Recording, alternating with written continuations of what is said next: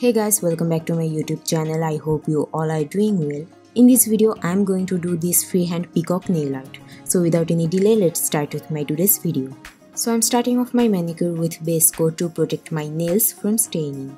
As base polish, I'm applying two thin coats of this light green nail polish. Over this base polish, I'm going to do gradient with blue nail polish and two different shades of green nail polish.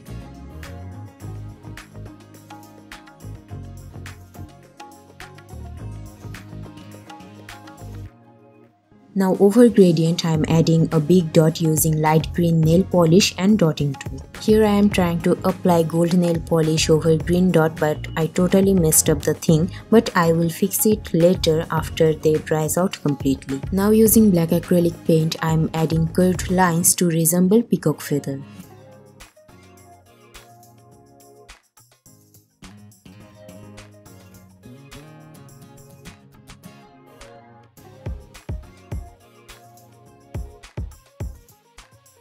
Now over green dot I am adding two dots using sky blue nail polish and a dark blue nail polish to resemble peacock feather eye.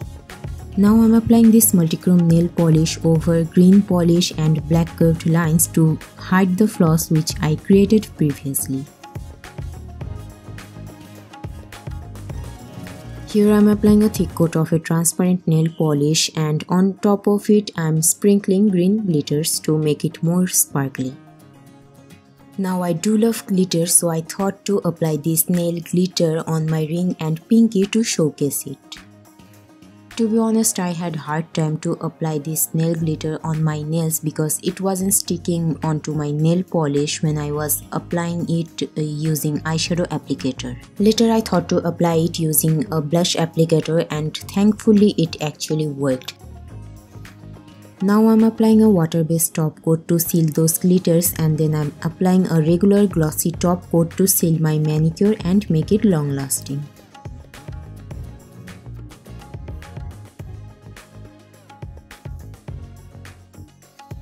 So that's all for today's video. I hope you enjoyed it. If you do then make sure to give this video a thumbs up, share my video with your friends and subscribe to my YouTube channel to never miss any upload. See you in my next video. Bye bye.